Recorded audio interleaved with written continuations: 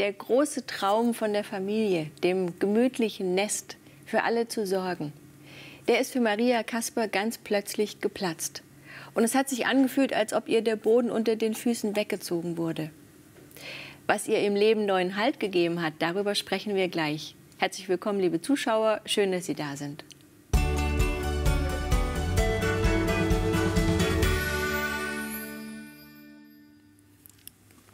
Darf ich dir ein Kräuterwasser oh, ja, gerne. eingießen, Maria? Schön, dass du da bist.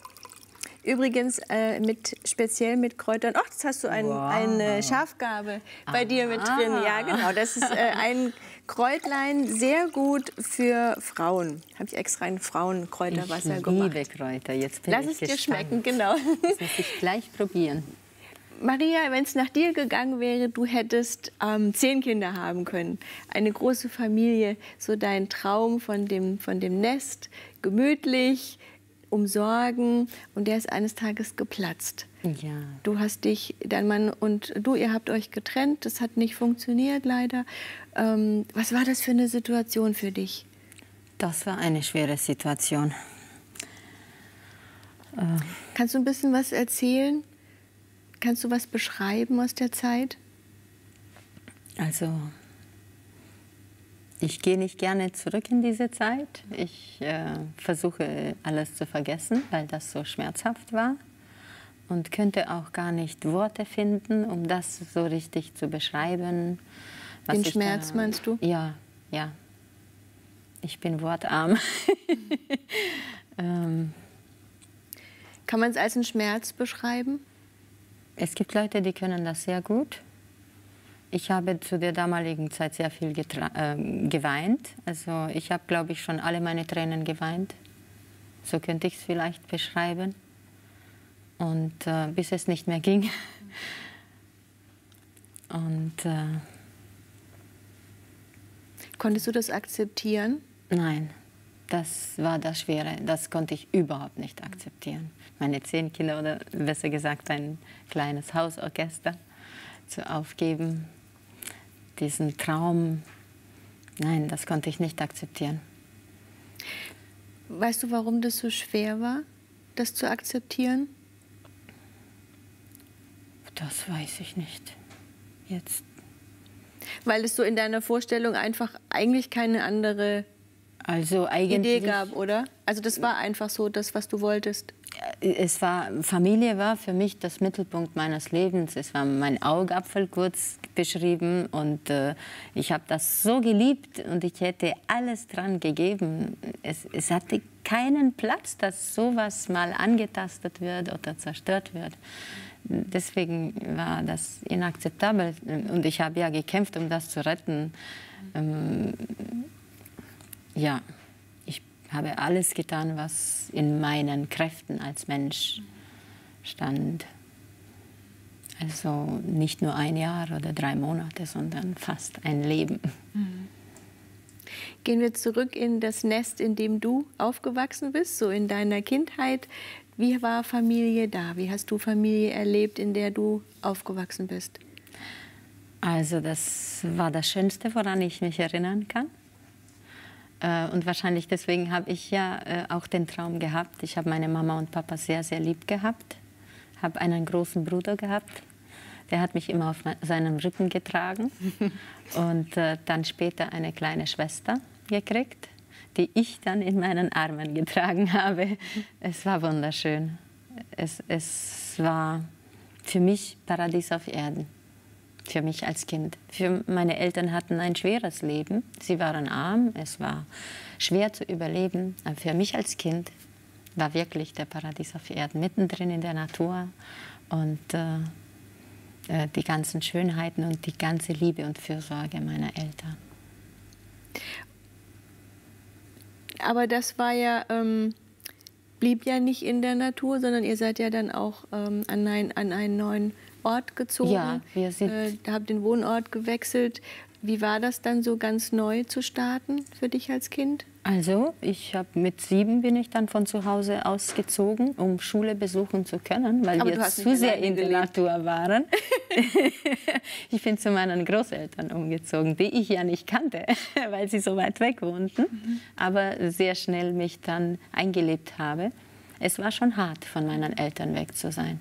Mhm. Äh, ich habe schon darunter gelitten als Kind. Aber die Kinder haben die Begabung, einfach sich sehr schnell anzupassen. Und das hatte ich auch gemacht. Und auch sehr schnell die rumänische Sprache gelernt. Davor habe ich nur Ungarisch gekonnt. Mhm. Ja, und das war ein guter Start in die Schule. Mit Oma und Opa an meiner Seite. War wieder eine neue Familie mhm. und auch äh, ganz anders. Äh, mit strengem Opa und ganz, ganz liebe Oma, so zwei äh, Gegensätze, die sich so dann hineingeflochten. Ich habe alles gekriegt, was ich dann gebraucht habe als Kind. Mhm. Fiel es dir leicht, dich auch auf eine ganz neue Situation einzustellen? Weil du hast es ja im Laufe des Lebens immer wieder. Mhm. Ähm, Gab es neue Situationen, in die du gekommen bist? Ja, ich musste ziemlich, also nirgendwo habe ich in Rumänien mehr länger als sieben Jahre gelebt. Ja, ich musste oft umziehen und wechseln. Äh, vom Land in die Stadt zu ziehen, das war nicht einfach für mich. In der dritten Klasse bin ich dann in die Stadt umgezogen und das war schon schwer. Aber dann zu den Eltern? Äh, ja, mit den Eltern? mit den Eltern dann zusammen, ja. Äh, Warum war das? Äh, damit wir endlich als Familie wieder zusammengekommen sind, haben sie dann den Wohnort gewechselt. Also vom Dschungel, ohne Schule, ohne elektrischen Strom, einfach dann in eine Stadt, damit äh, die Kinder dann die Schule besuchen können. Wie war das für deine Eltern? Äh, Weil sie haben ja auch für Sie war das ja auch eine ganz große Umstellung. Sehr große Habt ihr darüber gesprochen? Ähm, nee, ich kann mich jetzt nicht erinnern, dass wir. Äh, sicher wusste ich, dass Sie da hinziehen, damit ich dann endlich mit Ihnen zusammenleben kann. Mhm. Aber ich habe mich schon inzwischen bei den Großeltern so gut und wohl gefühlt. Die waren immer noch auf dem Land. Mhm. Ja, aber äh, es es kam wieder, ja, ich kam wieder in meinem Nest zurück, also von einem Nest zum anderen. Und in den Sommerferien besuchte ich aber regelmäßig meine Großeltern. Das war für mich das Highlight immer. Nachdem ihr euch ja jetzt kennengelernt habt. Ja, genau. Wie ging es bei dir weiter? Du sagst, du bist immer wieder umgezogen? Ja, äh, also nachdem wir dann wieder äh, fünf Jahre in der Stadt gelebt haben, bin ich in eine andere Stadt umgezogen und aufs Gymnasium gekommen, wo ich dann ganz alleine gelebt habe. Dann mit 15 äh, habe ich dann meine eigene Wohnung gehabt. Oh. War das nicht einsam manchmal? Doch, ich habe da mich abgenabelt von meinen Eltern und habe dann so meine erste Gedichte geschrieben für meine Mama. so drei, vier Stück. Ich habe sie heute leider nicht, diese gingen verloren, aber ich weiß, dass ich auch im Leben ein paar Gedichte geschrieben habe. Mhm. Es Hattest war die Sehnsucht. Ja. Hattest du Heimweh?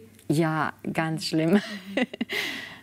Aber warum musste das sein, dass du oder es Wieso hat, war das notwendig? Es war die Situation so. Meine Eltern hatten vor, wieder äh, auch zu meinen Großeltern umzuziehen. Und ich war einen Schritt schneller und habe gesagt, gut, ich ziehe schon mal mit der Schule hin. Mhm. Und dann hat es bei denen der Umzug nicht geklappt und bin ich dann alleine geblieben. Okay. Mhm. Und wie bist du zurechtgekommen mit 15? Alleine? Also das habe ich gut gemeistert. Ich habe in den Sommerferien ganz viel gearbeitet und mir äh, einen großen Teil des Geldes für Miete äh, verdient. Und dann, äh, ja, ich habe dann sehr gerne gelernt und meinen Haushalt gemacht. Und die Leute, die mir ihre Wohnung vermietet haben, sie haben selber noch ein Haus gehabt. Und ich war quasi so ihre Tochter. Die, hätten, die wollten mich adoptieren sogar zu ihrer Tochter. Sie hatten keine Kinder. Mhm. Ähm, und ich habe mich sehr wohl gefühlt dort. Ich habe eine wieder neue Heimat gefunden, neue Freunde. Und ich hatte immer liebe Menschen um mich herum, die mich geliebt haben. Das war äh, das war wirklich klasse. Und das allerhöchste Geschenk, was ich in meinem Leben bekommen habe. Diese die liebe Menschen, ja, mhm. die sich um mich gekümmert haben. Mhm. Aber war das nicht trotzdem auch manchmal hart, wenn du so die ganzen Sommerferien quasi für deinen, deinen Unterhalt arbeiten musst? Das ist ja schon Es war eigenverantwortlich so zu, zu leben mit 15 ist ja schon ganz schön viel Verantwortung. Ne? Körperlich war sehr hart. Ich konnte mal an einem Morgen gar nicht mehr, meine Hände gar nicht mehr bewegen. Ich Was hast du gearbeitet? Bett. Ich habe in den Weinbergen gehackt den ganzen Tag. Das war der erste Tag und in der Früh konnte ich schon meine Hände und, und Füße nicht mehr bewegen. Das war wahrscheinlich die allerhärteste Arbeit zu der damaligen Zeit, die ich geleistet habe. Mhm. So ein Muskelkater von Kopf bis Fuß, das habe ich hinterher niemals erlebt. Aber ich habe es gern gemacht. Ich habe Spaß gehabt. Immer habe ich Spaß gehabt an der Arbeit. Äh, also ich habe mich nie äh, davor gedrückt oder gesagt, das wäre mir zu viel. Habe ich nie gedacht, dass es mir zu viel ist. Mhm. Ich habe das immer mit Freude angepackt. Es war toll. Ich finde es bis heute. Wenn ich zurückdenke, war mm, echt super. Mhm. Haben auch andere Kinder noch gearbeitet, andere junge Leute. Mhm. Du hast gesagt, dir hat die Schule sehr viel Freude gemacht. Ja. Was hast du, in welche Richtung hast du beruflich, war dein Traum? Also mein, mein Traum, also als Kind mit Träumen, das war schwierig zu, meiner Zeit. Warum? Ähm, also ich wäre gerne schon Lehrerin geworden, aber zu unserer kommunistischen Zeit waren die Lehrer äh, und Glaube, das ging nicht zusammen. Dann war für mich klar, für mich klar ich kann nicht hm, Lehrerin-Ausbildung machen. Und meine Mama hat immer Krankenschwester gesagt und da war die Konkurrenz ähm, unglaublich groß, sodass ich äh, diese Prüfung nicht äh, geschafft habe. Also ähm, und dann bin ich äh, ähm, in eine andere Richtung gegangen. Also es war Mathematik, Biologie äh, für Labor, Wasseramt. Und ich wäre sicher, ähm, hätte ich gerne studiert. Äh, aber mein Traum, mein allererster Traum oder Hobby war schon immer singen. Ach ja. oh ja. Und das habe ich nie erreicht. Nein.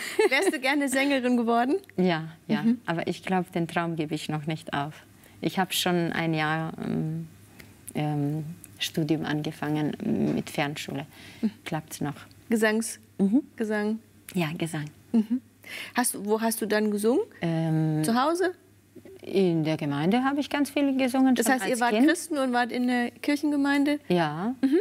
Und meinen allen Leuten, die, also als Kind schon hat meine Mama mir immer Lieder beigebracht und musste ich schon jedem vorführen. Mhm. Und später habe ich dann in der Gemeinde ganz viel gesungen und äh, wo ich am allermeisten Spaß habe, äh, einfach meine kleine Harfe mitzunehmen und dann eine alte Omi zu besuchen und ihr ein Lied zu singen und ihr damit Freude zu machen. Das ist mein allerhöchster Spaß. Also nicht, dass ich jetzt ähm, auftrete als Sängerin, sondern mit meiner Stimme die Seele der Menschen berühren. Das mhm. ist mein aller, allerhöchster Hobby. Als Freude? Ja. Mhm. War das, wie war das dann als christliche Familie, dann in diesem kommunistischen Umfeld zu leben? Du sagst, das war klar, Studium, ähm, Lehrerin werden geht schon mal nicht. Ähm, da waren Grenzen spürbar, oder? Sehr, sehr. Also ich war sehr ausgegrenzt. Ich hatte einige Jahre, wo ich sehr ausgegrenzt und isoliert als christliches Kind gelebt habe und auch sehr viel gehänselt wurde von den Kameraden. Aber in welche Richtung ging das denn? Das ist für uns heute, also für, für mich der ich nicht in so einem Land groß geworden bin, manchmal schwierig zu verstehen. Warum, warum da Hänselei? Weil heute kann ja jeder glauben, eigentlich so ziemlich, was er möchte. Ja. Wie, wie, war das? Erzähl mal so ein bisschen. Also äh, zum Beispiel, äh, das war also kom sehr kommunistisch das Land und atheistisch geprägt und äh, Gott hatte so keinen Platz. Trotzdem war der orthodoxen Glaube akzeptiert und die Freikirchen waren nicht so akzeptiert. Und weil ich ja dann einer Freikirche gehört, äh, zugehört habe, war ich nicht, äh, die haben uns immer Bekehrte genannt und das war ein, ein schlechtes Wort äh, in ihrem Begriff so und die haben uns herabgeschaut und so ähm, und dann hat man sich ausgegrenzt gefühlt. Hast du manchmal Gott gefragt, was, warum das so ist? Also als Kind habe ich keine Warum-Fragen gestellt. Ich kann mich nicht erinnern, aber ich habe Wünsche in meinem Herzen gehabt, dass das mal endlich zu Ende ist, weil ich hatte so richtig Freude gehabt, in die Kirche zu gehen und ich habe im, im äh, äh Orchester gespielt, Geige und, und habe gerne musiziert und ich war so gerne dort und dann musste ich immer so im Versteck so einen großen Bogen drum herum machen, dass meine Klassenlehrerin mich gerade nicht sieht. Die wohnte, die war Nachbarin mit der Kirchengemeinde. Es war ja ein Pech. Und dann habe ich immer so Umweg. Und ich habe mir gewünscht, dass ich mal endlich so richtig fröhlich und un unbeschwert mal in die Kirche gehen kann. Das war so ein Kindheitswunsch von mir was ich auch hinterher erreicht habe. Ja, ja. später dann. Ja, ja, mein Leben lang hinterher. Ja. ja, ja. Du warst dann 18? Als du nach Deutschland Knappe gekommen 18, bist? Knappe 18, ganz, ja. ja. Wie kam das? Äh, ja, äh, also meine schulische Bahn hat sich dann unterbrochen und äh, habe meinen Mann kennengelernt und dann äh, äh, das ging alles so schnell. Er musste einfach ausreisen und äh, ähm, Warum musste er ausreisen? Seine Familie hatte ja schon die ganze ähm, Vorbereitung für Ausreise vorbereitet. Er musste mit Familie mhm. ausreisen. Und er wollte gerne noch ein rumänisches Mädchen heiraten. und weil dann zu der damaligen Zeit diese Heirat nicht möglich, äh, nicht so einfach war, war die Überlegung einfach äh, äh auf Papier. Wir haben es auch wirklich noch schriftlich gemacht. Mhm damit man diese äh, Ausreise später bekommt. Damit du nachkommen kannst. Mhm. Mhm. Was mir auch sehr große Vorteile gegeben hat, hinterher kam ich ja nach Deutschland, ich habe dann einen Sprachkurs bekommen, ich durfte diese wunderschöne Sprache dann erobern und das hat mir auch viel Spaß gemacht. Mhm.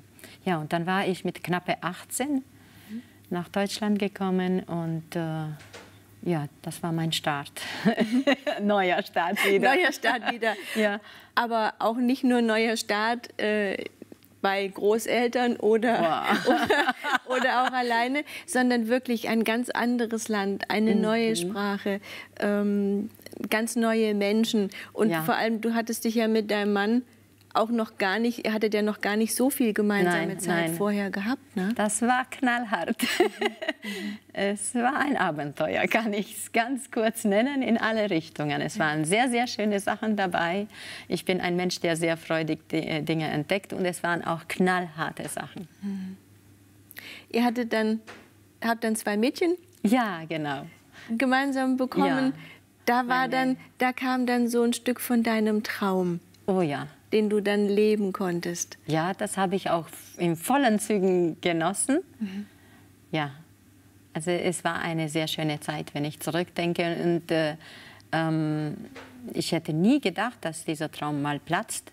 Ich war so in diesem Phänomen und so engagiert als Mutter und habe so mein Bestes auch in meiner Weisheit auch für meinen Mann gegeben und für meine Kinder ähm, auch die Menschen, die uns angeschaut haben von außen, keiner hätte gedacht, dass jemals sowas platzt. Mhm.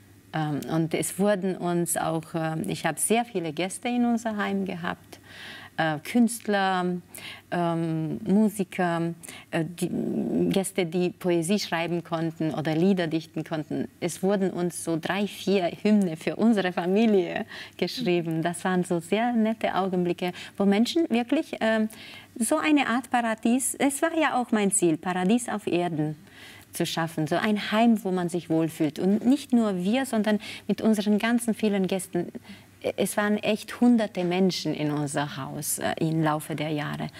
Und äh, es war sehr schön.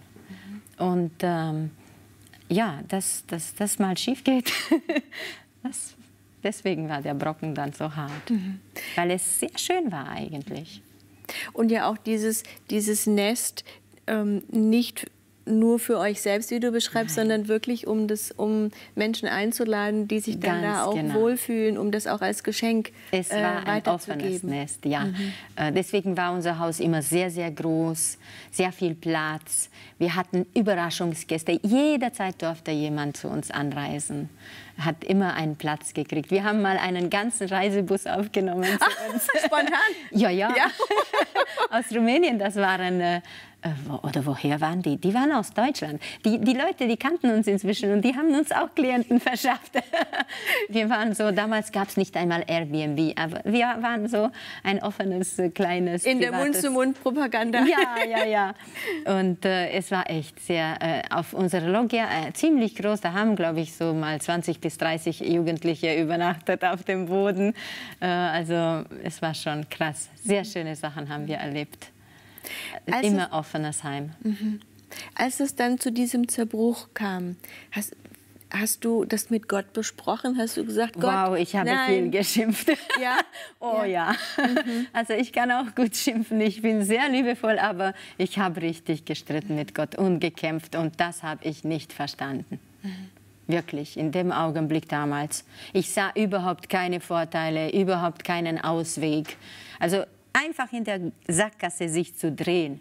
Das ist nicht schön. Also nicht einmal sich wenden zu können, um zurück. Also ich war in die Sackgasse angekommen und nicht einmal Möglichkeit noch mich zu wenden, um aus der Sackgasse raus. Nein, ich, ich für mich als Mensch gab es damals echt gar keine Lösung.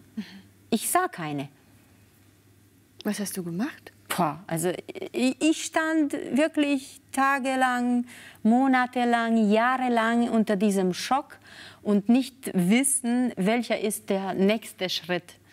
Und äh, erstmal auch mit niemandem darüber geredet, weil ich wusste gar nicht äh, zuerst, was ich reden soll. Und ähm, ich habe mich isoliert. Ja, das war, was ich gemacht habe. Du warst mit deinem Schmerz eigentlich allein? Ja, ganz ähm, allein. Wir haben versucht, mein Mann hat sich höchste Mühe gegeben. Äh, aber er hat mich nicht verstanden. Ich habe ähm, dann die Dinge nicht verstanden und er war zu stolz, zu einem Therapeuten rechtzeitig noch vielleicht zu gehen. Ähm, ein Kind wollte er auch nicht mehr, weil das hätte vorher schon das ganze Platzen. Äh, ich bin mir 100 pro sicher, weil ich kenne mich, das hätte alles vorgebeugt. Ich weiß nicht, warum Gott das nicht mehr wollte. Deswegen ähm, ja. Manches muss man wahrscheinlich dann einfach stehen lassen und wir verstehen es wirklich nicht. Ich wollte es wirklich nicht erzwingen. Also wenn jetzt jemand kein Kind mehr haben möchte, dann egal, ob ich noch zehn Wünsche, kann ich niemandem jetzt sagen, so jetzt will ich aber ein Kind oder ich lege dich rein. Das wäre unfair gewesen. Und deswegen habe ich äh, ja das dann schlucken müssen. Wie ging es dann bei dir weiter? Wow. Ich war förmlich aus diesem Paradies herausgerissen oder weggeschmissen, so wie Adam und Eva mhm. eines Tages ihr Heim äh, verlassen mussten. Die waren rausgetrieben von dem Engel. Ähm, so war ich auch von, von dieser Situation rausgetrieben. Mhm. Nicht mit meinem Willen, nicht mit meinem Wunsch. Und auch keiner wollte, dass ich gehe. Äh, und keiner hat es verstanden, weder meine Kinder noch mein Mann noch ich. Alle vier. Mhm. Und alle vier haben wir darunter gelitten. Ja. Du musstest ja aber irgendwie weiterleben.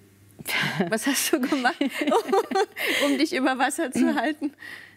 Ja, also ich, noch davor habe ich angefangen, ja. Wenn es dann nicht mehr um neue Kinder geht, dann äh, habe ich mir schnell einen Job. Also ich bin ein Mensch, ich, habe beschäftigt, ich brauche Beschäftigung. Wir haben ja zusammen zwei schöne Häuser kreiert, äh, schönen Garten angelegt, alles fertig. Äh, und äh, ähm, wir haben auch sehr viel für die Menschen. Auch in unserem neuen Haus haben wir Zeltwochenende erlebt mit unseren Freunden und aus der Gemeinde die Kinder und sehr, sehr schöne Sachen äh, erlebt. Und die sind dann eingestellt worden, wo wir nicht mehr funktioniert haben. Wir haben noch die ganz große, schöne Geburtstagsparty von meinem Mann organisiert. Das war das letzte große, äh, was wir gemacht haben. Das haben meine Töchter durchgeboxt. Die, die waren so richtig, muss ich sagen, ähm, spitze, weil ich war schon dafür nicht mehr tüchtig. Und die haben mich dazu gezwungen. Was sie auch heute äh, empfinde ich es gut. Für mich war es damals sehr hart, äh, in der Öffentlichkeit, zu, also mit unseren Freunden zu stehen. Und äh, ähm, ja, die haben es aber durchgekriegt. Das war ihr Papa. Sie haben für ihren Papa gekämpft. Was sie, äh, sie kämpfen für uns beide, was ich ihnen sehr hoch anschätze und was, äh, was ganz toll ist, finde ich. Und wir werden eigentlich immer eine Familie bleiben. Ich glaube nicht, dass wir aufgelöst werden, äh, sage ich mal, als Familie, ob jetzt, äh, jetzt auf Papier anders wie steht. Aber ich glaube, wir werden immer mhm. als... das Nest ist nur nicht mehr das, was du dir gedacht hast. Äh, genau. Aber man verliert ja die Menschen ja. nicht unbedingt ja, genau, komplett. Genau. Mhm. Weil es gibt keine Anfeindung oder so. Und äh, dann, äh, das war das Letzte, was ich so noch erlebt habe, groß in meinem Haus. Und keiner wusste, dass ich dann eigentlich äh, raus muss. Keiner dieser Gäste hat geahnt. Und äh, eigentlich kurze Zeit danach, ja genau, so einen Monat danach bin ich dann ausgezogen. Auf, äh, auf dem Rat von einem äh, Therapeuten, der mir das einfach geraten hat, ja. Und beruflich, was hast, wie hast du dich hab, da weiterentwickelt? Ich habe inzwischen dann, äh, habe mich auf der Suche gemacht, auch mit meinen Töchtern, die waren inzwischen groß und ich nehme sie gerne. Äh, äh ihre Ideen und ihre äh, Ratschläge nehme ich auch sehr gerne an. Und dann habe ich mich entschieden, Logopädie mhm. äh, zu lernen, äh, ein Beruf, äh, was auch mit sehr viel äh, mit Kindern zu tun hat, weil ich Kinder so sehr liebe und auch äh, den Job eines Lehrers eigentlich mit beinhaltet, aber auf einer anderen Art und Weise und auch, weil man jetzt nur mit einer Person arbeitet und nicht mehr mit einer großen Klasse. Ich dachte, ja, ich werde älter und nicht Kindererzieherin, Lehrerin wäre eh nicht möglich, aber Kindererzieherin äh, habe ich gedacht, das kann äh, anstrengend werden mit der Zeit, deswegen Logopädin und weil mich Stimme interessiert. Passt dann gut zusammen? Äh, ja, und hat es dir auch wieder so viel Freude gemacht zu oh. lernen? Oh ja. Wenn ich deine leuchtenden Augen anschaue. es war toll. Mhm. Und es war eine gute Entscheidung. Ähm, in dieser schweren Zeit nicht äh, sich auf diese schwere Zeit zu konzentrieren, sondern etwas äh, äh draus zu machen und die Zeit wertvoll zu nutzen, um in eine andere Richtung zu lenken. Es, ich finde, das war eine super gute Entscheidung. Und dann habe ich nicht mehr Zeit äh, gehabt, äh, mich zu bemitleiden oder zu heulen oder jetzt meinem Traum hinterher zu weinen, sondern einfach, ich bin vorwärts gegangen, in äh, etwas Neues zu entdecken. Wobei das auch seine Zeit hat, aber das hattest du ja schon, die Tränen hast du ja schon geweint, wie du beschrieben hast. Mit der Lokopädie habe ich es noch mitgenommen. Bis zur letzten Prüfung gab es die jeden Tag als Portion. Und auf der Suche nach Praxisräumen äh, das war hast ja du der was Knall. Spannendes erlebt? ja, ja, auf der Suche nach der Praxis, nach, äh, also noch vor der Beendigung meines Studiums. Ich war mittendrin bei meinen Prüfungsvorbereitungen, aber ich war gespannt, ob ich wohl Praxisräume finde und habe mich schon auf den Weg gemacht, in die Zeitung zu suchen nach so einer winzig kleinen äh, Möglichkeit, ähm, wo ich dann meinen Beruf ausüben kann. Ähm, weil ich habe schon sehr lange Praktikum gemacht in einer Praxis und ich wusste genau, ich will mich nicht einstellen lassen. ja, und ähm, äh, ja, dann, dann kam die Überraschung meines Lebens. Erzähl. Also ich, ähm, ich wurde dann von meinem Logopädie total abgelenkt. ähm, in welche anstelle, Richtung? Anstelle von einer Praxis, also es stand ausgeschrieben Büro oder Praxis möglich, aber es war ein winziges, kleines, kleines, sehr kleines Restaurant. Äh, und äh, dann bin ich rein, habe ich gesagt, nee, also für Praxis ist das nicht möglich. Zu, rustikal, zu klein, kein Wartezimmer. Und dann bin ich auch sehr schnell rausgegangen. Und dann stehe ich vor der Tür. Ja, geh noch einmal zurück. Was kannst du daraus machen? Wie? Was soll ich daraus machen? Hast du wie eine innere Stimme gehört oder, oder was? Ja, das war, was kannst du daraus machen? Da habe ich gedacht, was soll ich daraus machen? Geh zurück. Da der Besitzer, da waren schon sehr viele Profileute dort, alle vom Gastrobereich. Habe ich gedacht, was habe ich mich hier verlaufen? ich bin völlig falsch am Platz. Und dann hat er mich gefragt, haben Sie schon mal in Gastro gearbeitet? Nee, niemals. Und äh, was, was würden Sie machen? Ja, wenn ich was machen würde, dann wäre das ein kleines veganes Restaurant, das könnte ich hier sehen, vegan. Mhm. Weil ich inzwischen mitbekommen habe, dass vegan so in ist und dass so viele junge Leute dafür interessiert ist. Das fand ich, fand ich schon toll und spannend, weil ich schon etliche Jahre äh, vegan äh, mich ernährt habe. Und du auch gerne kochst? Oh ja. aber nicht für mich selber persönlich. Für mich mixe ich nur so ein Wasser mit, äh, heute habe ich äh, Kurkuma mit Ingwer mhm. gemixt und getrunken als Energiespender. Ähm, ich koche nur für andere. Das heißt, du hast denn das wirklich umgesetzt? Ich weiß nicht, was in mir hineingefahren ist, dass ich ich habe dem gesagt, ja, habe die Nummer gegeben und äh, ich habe gar nicht gesagt, ich will das machen. Ich habe ihm die Nummer gegeben und der, der Mann ist dann auf mich äh, zurückgekommen. Er möchte mir das gerne geben. Später fragt er mich, Maria, ich habe Du hast mir gesagt, du hast nie mit Gastro zu tun. Warum habe ich dir das gegeben? Das verstehe ich nicht. Der hat es nicht verstanden, mhm. warum er mir ausgerechnet mich ausgesucht hat von den anderen, die erfahren waren auf dem Gebiet. Mhm. Ähm, ja, und dann äh, habe ich inzwischen noch meine Logopädieprüfung fertig geschrieben, noch mein, äh, mein äh, Abitur nachgeholt, alles, was ich als junges Mädchen noch verpasst habe und nicht fertig gemacht habe. Ähm, also habe ich zeitversetzt nachgeholt. Mhm. Ich liebe auch diese Kombination irgendwie. Manchmal fange ich eine Sache an, aber auch wenn sie kurz stehen lasse, ich lasse sie nicht unbeendet. Irgendwann beende ich sie. Okay. also mein Abi musste noch fertig gemacht werden, war eine tolle Erfahrung. Mhm. Und dann dein Restaurant? Ja, in so kleinen Räumen? Wie, wie geht das? Wie läuft das? Nicht so einfach für mich. Die Arbeit ist ungeheuer. Ein Marathonlauf von morgens bis abends.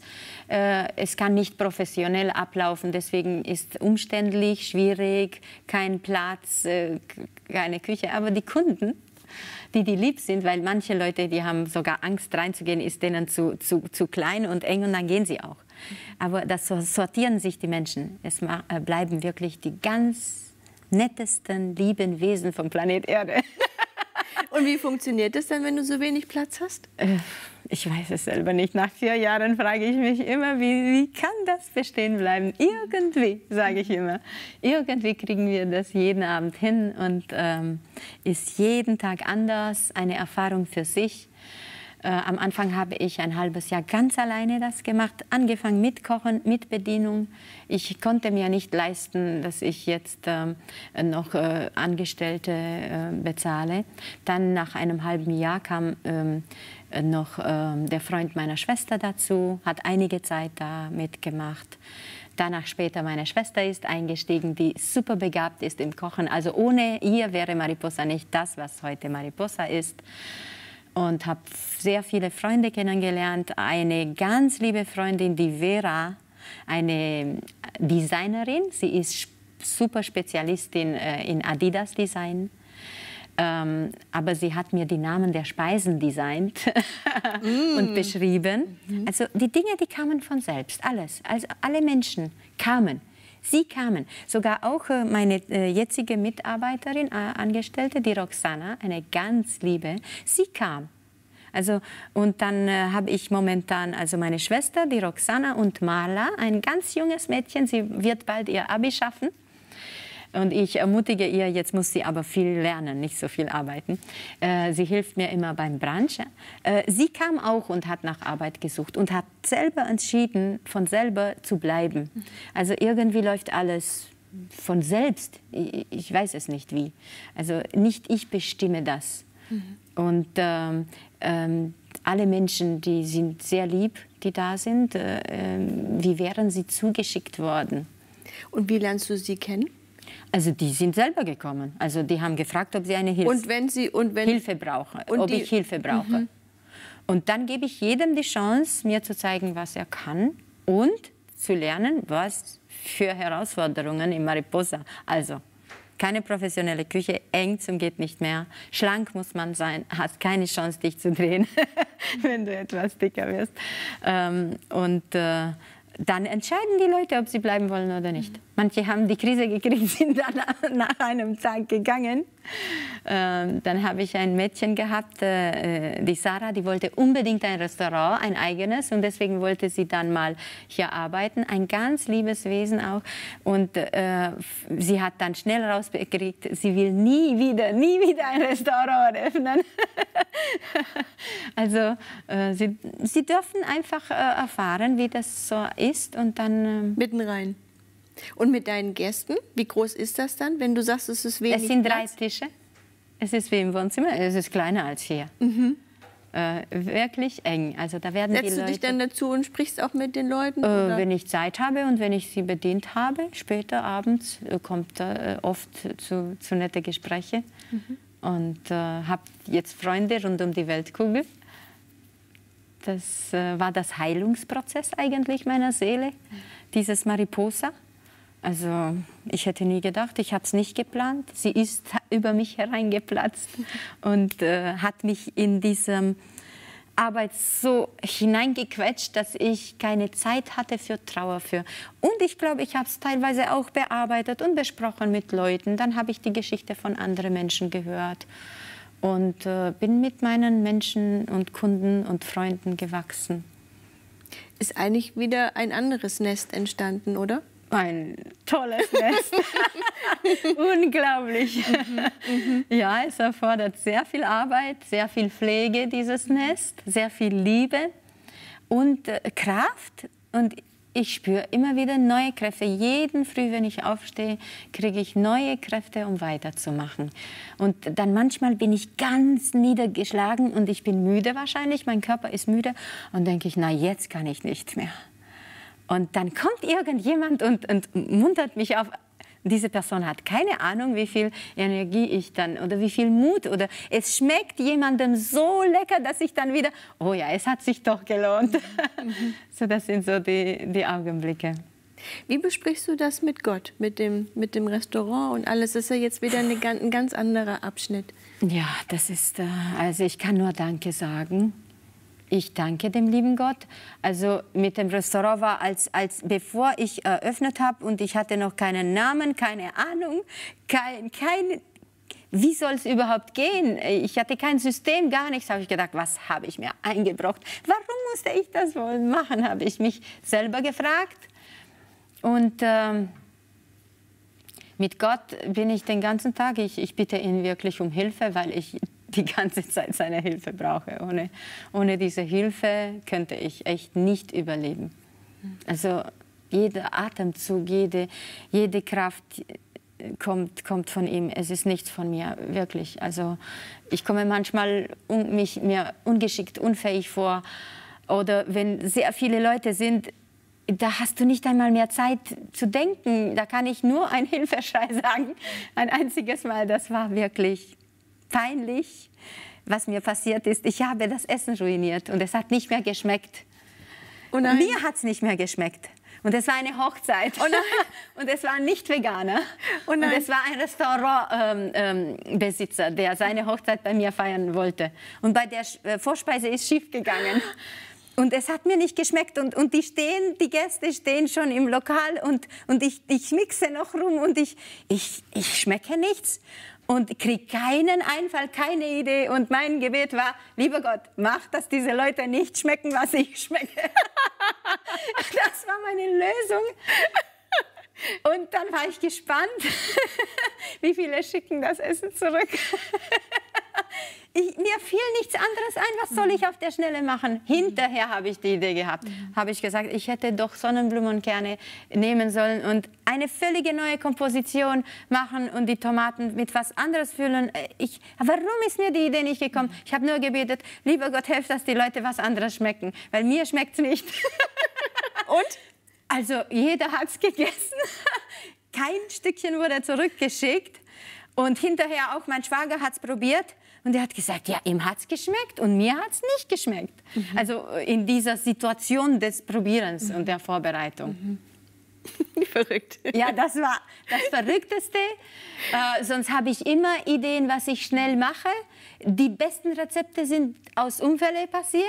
Also dieser schnelle Einfall, okay, jetzt habe ich plötzlich nicht mehr die Zutaten für meine Mayo die beste Mayo aller Zeiten ist geworden, weil mir die Zutaten ausgegangen sind mhm. und ich habe dann auf eine neue Zutat zugegriffen und es ist die beste Mayo aller Zeiten, das sage ich euch. Das heißt, du experimentierst gerne, ja? Oh ja, äh, improvisiere gerne. die besten Rezepte, also das, das war so eine tolle Mayo, die ich liebe und die, die ich gerne nehme und meine Kunden lieben diese Mayonnaise. Sehr fettarm, sehr diätisch und wohlschmeckend mhm. und schnell zu machen. Was sind so weitere Ideen, was du machen möchtest so mit deinem Leben? Das Restaurant oh. ist ein Aspekt? Ist ein Aspekt. Um, ähm, und ich muss von etwas leben. Restaurant ist mein Hobby und weil nur die drei Tische da sind, ergibt sich da kein Geschäft. Aber ich mache das gerne weiterhin als Hobby und habe dann, äh, äh, wie gesagt, wenn ich eine Sache anfange, äh, ich lasse sie vielleicht kurz stehen und komme wieder zurück. Eigentlich bringt mich Gott wieder zurück zu der Sache, habe ich nicht einmal wieder geplant. Äh, ich habe jetzt neben meinem Restaurant äh, Räumlichkeiten gefunden, wo ich meine Praxis eröffnen kann. Mhm. Meine Logopädie, die ich ja studiert habe. Das ist ja mein äh, ausgeübter Beruf. Und wie kriegst du das so beides Ich werde das hin, noch sehen, wie dann? ich kriege. ist noch nicht experimentiert, weil das ist die Aufbauphase. Ich plane nur, wie ich das hinkriegen soll und tatsächlich, wie es ausschauen wird, kann ich nächstes Jahr sagen. äh, momentan wird Internetpage vorbereitet, also äh, äh, Logo habe ich entwickelt. Es wird heißen Wort und Klang. Ähm, ähm, Prospekte werden vorbereitet, die Räumlichkeit wird gerade eingerichtet. Ähm, und äh, das ist die Phase. Und äh, Ende Mai äh, die ganzen Papiere zur Genehmigung und hoffentlich Ende Mai, Anfang Juni kann ich starten. Also wieder ein spannendes Experiment für dich. Ja, ich freue mich drauf. Wenn du so dein Leben so mal, wir haben ja jetzt nur so ein paar Stationen äh, angeschaut, wenn du jetzt mal so für dich auf dein Leben zurückschaust, wie hast du Gott erlebt? Also das Allerliebste, was es jemals in, in diesem Universum gibt, habe ich erlebt. Also wenn ich das Wort Gott sage, würde ich gleichzeitig das Wort Liebe sagen. Fürsorge und Geborgenheit, tragend. Also in dieser ganzen Laufbahn, die ein Mensch rennt, wir rennen alle, ja? Und uns rennt die Zeit davon. wir rennen sehr kurz. Ähm, ich spüre, wie Gott mich in seinen Arm getragen hat. Äh, wirklich, wirklich. Also egal, was schiefgelaufen ist, ähm, egal wie unzufrieden ich war, egal wie ich ihn geschimpft habe, egal wie ich mich von ihm abgewandt habe, das habe ich, ich habe ihm dann einfach gesagt, ja, ich bin dann mit dir nicht mehr also wo es hieß, dass es so am Tag der Hochzeit meiner Tochter regnet, und zwar 98 Prozent, da bin ich auf Gott so sauer geworden und habe gesagt, erwarte nicht mehr, dass ich dich anbete. So sauer war ich. Ich, ich schäme mich. Ich war nicht wie David, oh, nee, nee, nicht, nicht wie Josef, nicht wie Daniel. Ich bin kein gutes Beispiel. Ich habe echt mit Gott geschimpft und ich war sauer auf ihn und habe gesagt, dieses Kind, ich, also für mich war Liane und Maria und ist immer noch mein Augapfel. Und, und, und, und sie sind zwei so tolle Wesen und so liebevolle Menschen, habe ich gedacht, jetzt ausgerechnet, wenn es regnet, ist wirklich der ganze Tag versaut. Hm. Und auch Freunde rufen an, du weißt, was morgen passiert. Regen angesagt, den ganzen Tag. Und äh, ich, ich konnte nicht einmal mehr beten, so entmutigt war ich.